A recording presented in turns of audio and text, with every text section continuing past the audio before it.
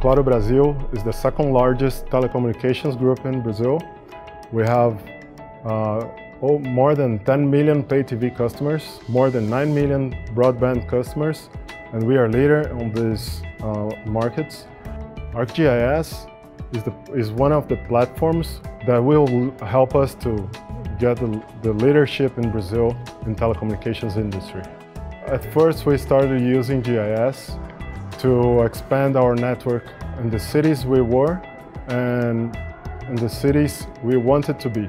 So we did geographic analysis based on the maps we had to understand whether we should expand our network to the city or this region and where should we put our antennas, our network.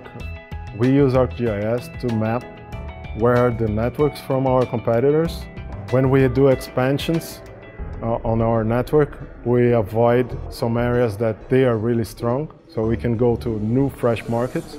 One way ArcGIS is helping us to reduce cost is when we analyze geographically our network, we see that sometimes we are renting um, backbones from other companies and we have our backbones really near to those, those backbones. So we have we can cancel the contracts with the, the other companies and we can do an infrastructure for ourselves.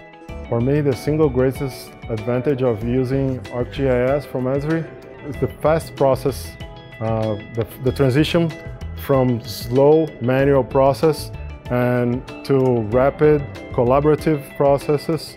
The next steps for Claro Brazil are uh, spreading the, the ArcGIS platform through the organization.